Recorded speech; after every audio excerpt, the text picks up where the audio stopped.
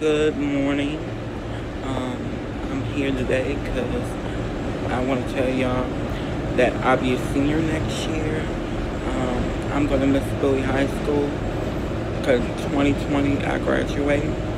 And I want to give it up for my lovely teacher, Mr. Arcusa, Miss Mako, Miss um, Mr. Edwards, Mr. Macklin, and my principal, Miss Prince.